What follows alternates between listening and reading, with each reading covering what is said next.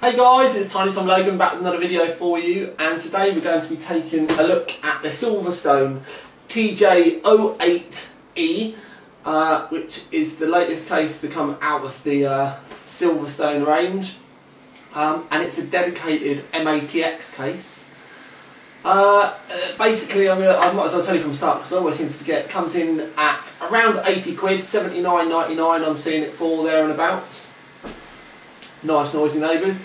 Um, but what I'm going to do is I've already done all my testing and everything on this and I've now got uh, set up for the video with a few bits so I can obviously show you around the case but then show you uh, a few bits that I've uh, kind of found with it. Yes, that's my phone. But what I'm going to do is I'm going to bring the camera in and uh, give you a good look round.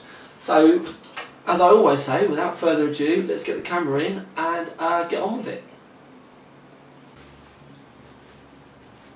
Right then my lovelies, one thing I am going to say is I've already taken the screws out of the doors. I've also taken the screws out of the roof and I will explain why in a little bit because like I said I've already done all my testing on this um, and uh, yeah basically uh, I've taken stuff out to save time when we do the video. Anyway, yes I have had a lot of coffee uh, and I'm feeling very much like Boxy. anyway, right, uh, at the front, couple of optical bays at the top. One thing I will say about the front as well is that this front section is uh, quite a thick uh, aluminium, aluminium, however you want to pronounce it, but the rest of the case is steel. Uh, it does give the front uh, quite a quality feel, to be perfectly honest with you. Uh, it's nicely machined. It just makes it feel a bit nicer. It's much, um, a bit like the Cooler Master 840 kind of feel, and many of the other Silverstones that they brought out recently have had alley front. Anyway, you can see this massive mesh area in the front. Uh, that's basically because there is a 180mm uh, air penetrator Silverstone fan in there as an intake. Uh, and obviously the air penetrators are brilliant. Um, but yeah, massive intake for such a small case. And there is uh, an optical an optical bay. There is a three and a half inch bay at the bottom should you need to use it. Case is USB 3 only, but you do get an adapter bracket um, because the cable inside is uh, uh, an onboard USB 3, but they do send you an adapter that goes from onboard USB 3 into normal onboard USB 2, so that's quite handy. Uh, the front is also dust filtered, but quite cleverly, depending on where you have your case situated, you can take the dust filter out both sides. Um, we've obviously got power and reset buttons, uh, activity light for the hard drive and a power light, and then your headphone and microphone slots. Um, right, now, this is where it really starts to get a little bit difficult because basically, like I said, I've taken the um, screws out of the roof already, but by uh, taking the door off, as you can see, it's kind of an inverted design, as in you have to take like the almost the wrong side of the door off um, to be able to get to the case. Now I've got uh, an NH-D14 fitted here on an MATX motherboard. Now it is just normal MATX. I'll show you at the back. There's a 120mm fan here. You've got the normal four MATX slots. There's uh, some vents up here and that's so the, um, the air penetrator can blow up the back of the motherboard and there is vents, I'll show you those quickly. I'll take the other door off. I'll show you around the back. So like I said, I have taken screws out, so ignore the roof moving. The air penetrator can blow up the back of the motherboard. There is um, vents here, so it can literally go up the back of the motherboard, come out here, and then uh, exit out the back of the case. I'll zoom you in so you can have a little bit of a look. So there you go, you can come up the back of the motherboard and up here and then it can still escape out the back. So it's just, they must have had airflow problems up here so they've added this in so it can pass through. Uh, right, what I want to show you is basically the um, motherboard tray is removable uh, and all you have to do, sorry I need to have it around this side, all you have to do is there's normally a screw here and a screw down at the bottom that you put through the, oh hang on, rookie error, right we'll start again. There's uh, normally a screw here and a screw down at the bottom. And uh, that's because the motherboard tray is removable. And basically it is removable but it's not this simplest design to get in and out. You do have to kind of do a lot of kind of moving around. Um, and getting it to actually latch in again uh, pretty difficult and well not difficult it's just not easy uh, it's always best to have the case stood up when you do it anyway um, but you can get it and obviously whizzing the motherboard out like that is um, a lot easier than having to take the whole rig apart. So for a smaller case to have a removable motherboard tray like this is quite cool. Um, so yeah, we've got that. There's only sort of like two or three cable, well four actually, five, six. I should really have counted first. We've got a few cable routing um, clips around and about and uh, some cutouts, but no grommets.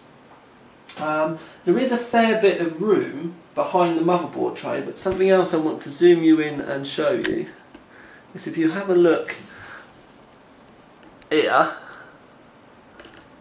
you can see here that the, there's the um, uh, like the, the where the motherboard stand comes round, it actually pretty much blocks off any cables going further round. So you'd have to use the um, uh, the cutout here, you wouldn't be able to, you know, slide the cables right the way around. so either that we have to go up and over the top. So that's just something to uh, bring to your attention there. So if I say it again, you can't get the uh, cables to go this way because of this uh, flap here. You either have to go over the top or put your cables out through either of the cutouts. Um, so that was something. Now, power supply, I'm going to spin this round power supply was something that I was perplexed by because I spent quite a while trying to get the power supply up in this way but it's so finely cut that you have to put the power supply in through the top. Um, now I thought you'd be able to get it in from underneath and be able to jiggle it in some way but I literally couldn't get it in there.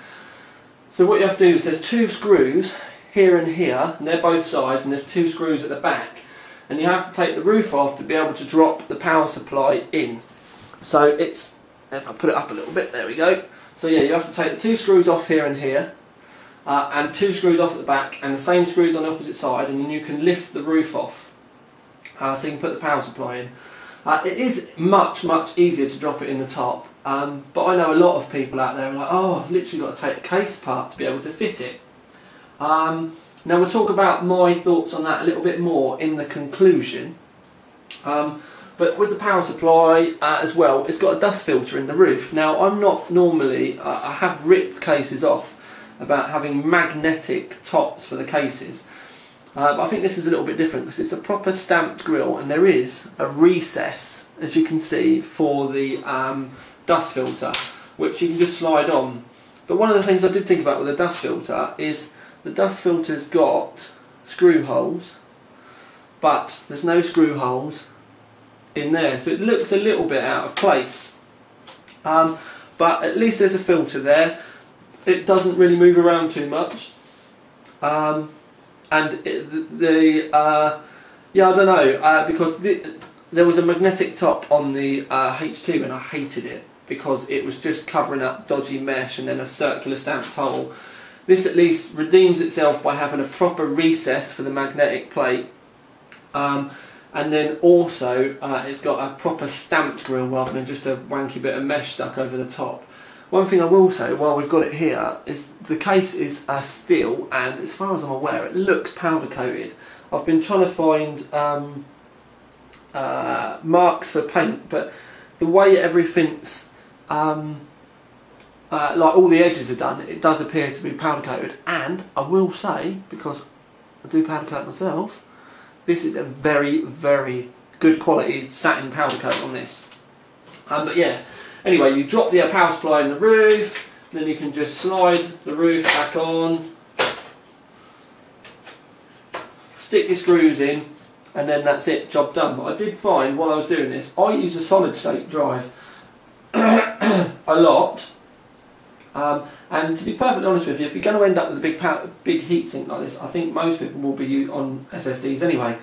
But if you do use a big heatsink like this, and I'll zoom you in again, if you have a look, it's very, very close to the hard drive cage. Hard drive cage that you can uh, fit three hard drives in. There's room for a SSD in the bottom, by the way. Um, but yeah, this hard drive cage uh, is very, very close to the heatsink, as you can, as you can see. So if you've got a massive heatsink, you're going to find it difficult to mount your hard drives. Now this cage is removable, which is a good thing.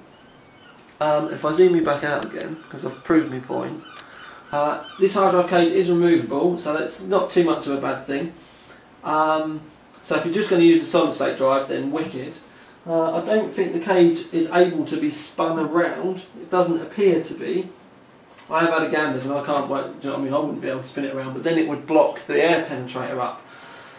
If this was my case, what I would suggest, I mean, generally, if you've got a solid state drive, then you're going to need uh, a storage drive as well, or you know, if you want a storage drive, the way I would do it would be to have a solid state drive, and then I'm actually a really big fan of the Western Digital 2 terabyte green drives because they've only got a 5,400 um, spin speed, which means they're cool and quiet.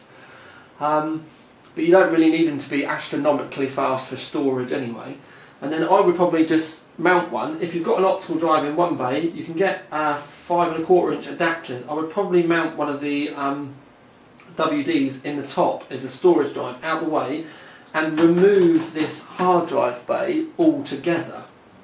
Um, one thing about this hard drive bay which is good though is it pretty much is going to direct an awful amount of airflow straight from the air penetrator straight at there if you had an NH-D14 or a Silver Arrow or one of those new Phanteks coolers um, it would pretty much direct it straight at the, um, the heatsink, which is a fairly good thing.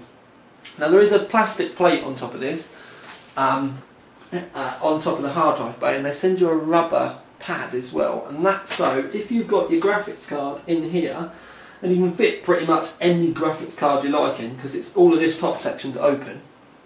Um, this rubber pad is so it will actually support the graphics card if it's in the first slot, which let's face it, with an MATX board, they probably are going to be going in at least the first slot, whether it's second or third it takes up. Um, but yeah, so they've actually put a graphics card support pad in there for you as well, and obviously the rubber um, mat stops you from like getting shorts and stuff like that. Now, I also uh, whipped the uh, back fan out. I tested with a Noctua in there, uh, but it doesn't come with a rear exhaust fan. The only fan that you get in the case is the front 180mm. Um, also, the front 180mm fan has a little switch here, and it's a low and high as we're getting to almost be, you know, like standard issue with Silverstone cases that they have a small um, fan speed control switch. Um, now, the thing is, the reason why I use the big cooler is a lot of people would be saying, oh, you don't need it with MATX cases, but there are a lot of high power um, MATX boards out there now, P67, Z68s. Um, the AMD stuff doesn't really matter because it doesn't really get hot, but you can get a 2600K in one of these, and for arguments that you could be running a 580 or a 590 in this rig, big heatsink, big overclock, um, and although it will be pretty packed in, you'd have to be, you know, quite clever with your um, cable management and stuff like that. This case really isn't that big, and you can have an awful, no different to the same sort of rig that someone's using using a much bigger case. So what I'm trying to say is, is you could make yourself a powerhouse with this rig and it not be that big.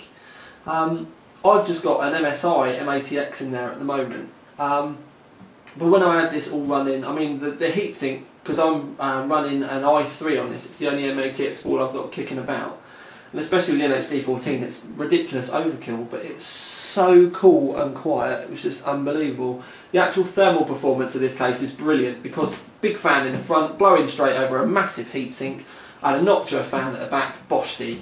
Um, uh, PSU, I did this for once, have it intaking from the roof, but you, it wouldn't really have mattered. Um, and yeah, I had it running with a mechanical drive, which I had mounted up in the um, in the hard drive bays here because on this test rig I don't really use uh, SSDs.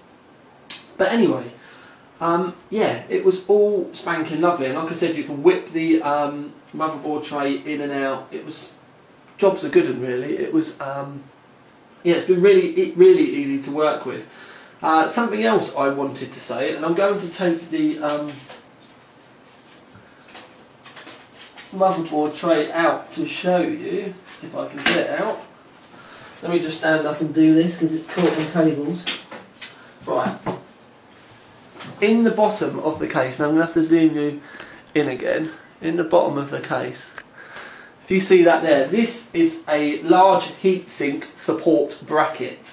Whereas you can slide this little rail up, and I've not broken it, I've actually just pulled a clip off, but that little clip moves, and then these bits slide up. So if you think about it, you could have that supporting your chuffing great big uh, heatsink perfectly, and it would give it a nice bit of support so that if you were moving this for a LAN, it wouldn't be putting extra stress on your motherboard as you were putting it up and down all the time, like if you were moving it.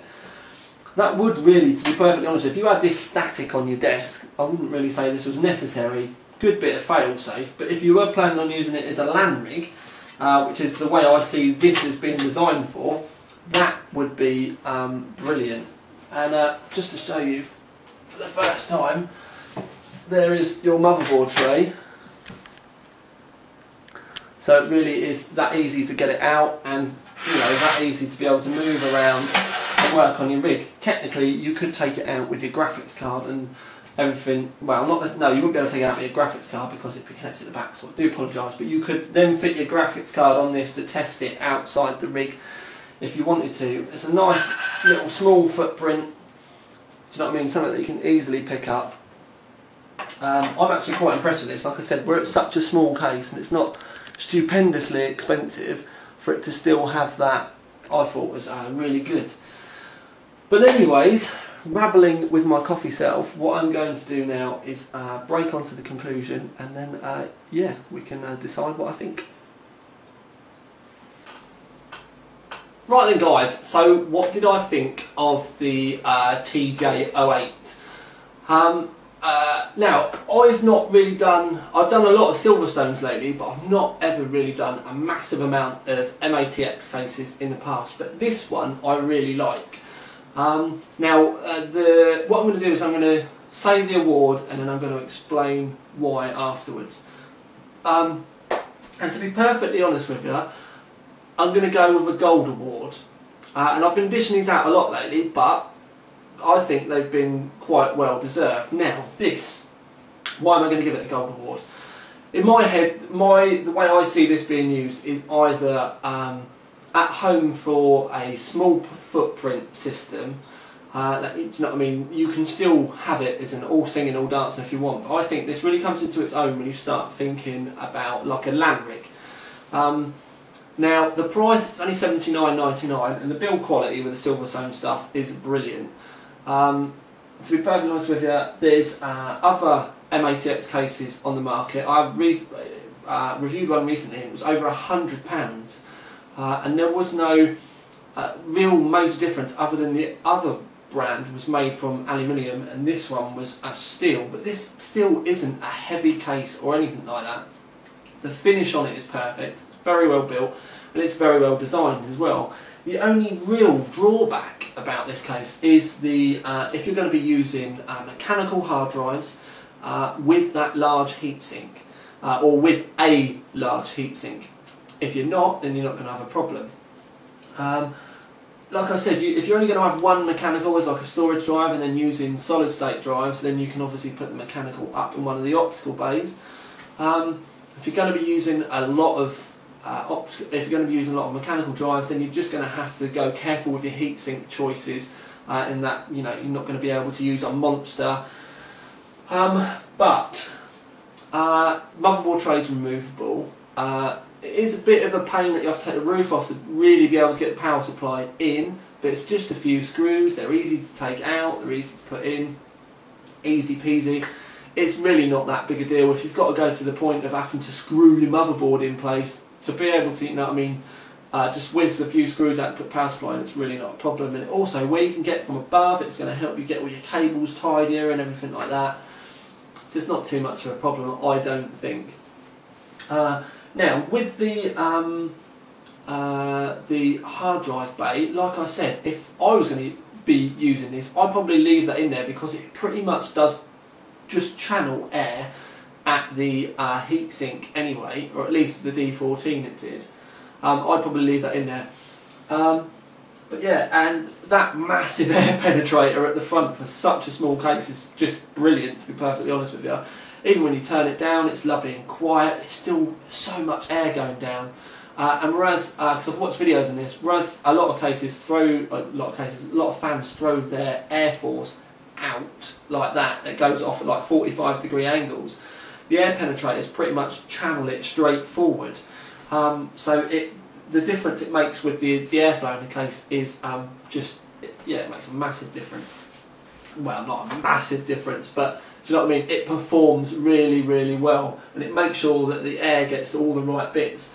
And where the fan does actually stick up above that hard drive bay, uh, it's going to be channeling air towards your graphics card and stuff anyway. It's just where it is such a small little compartment with a massive fan, it's brilliant. Obviously the fan in the front is dust filtered as well, so that's good. You've got the uh, uh, another reason why I would leave that hard drive bay in there is because of the support for your graphics card. If you've got a big graphics card in there, it can sit on there. Um, but this is where, uh, if you're going to be using it for a LAN, it's good because, like I said, if you keep putting your rig up and down, then your graphics card's not going to be able to kind of keep bashing down because it's going to be resting on that support, or at least it's only going to be able to go down that far. Um, but then you've also got the CPU heatsink um, support at the bottom as well, so it's not going to be damaging your board should you be moving it about a lot. So I really, really like that. It's all those kind of little touches are the reason why, including the fact that it's only 80 quid and it's, I think, there's a little bit of a billy bargain, is why I decided to give it a gold award. Um, and yeah, I'm, I'm really, really impressed with it to the point where I can see uh, a lot of, um, or at least I can see a lot of options of being able to build really big, powerful rigs in such a small little platform. It's not necessarily going to be uh, something you can really mod very much, but for a simple, you know, get the right parts, build yourself an awesome rig, it'll be brilliant. Um, so yeah, full of coffee. I hope I've explained that. It's just because uh, I was mega tired, so I've had like two cups of coffee before I um, wanted to start doing this video because I just looked so tired earlier. But anyway, Silverstone TJ08E uh, OC3D Gold Award winner. Definitely gets a TTL thumbs up as well. Really, really, I did really, really like this. Um, but yeah, this is Tiny Tom Logan with another video for you.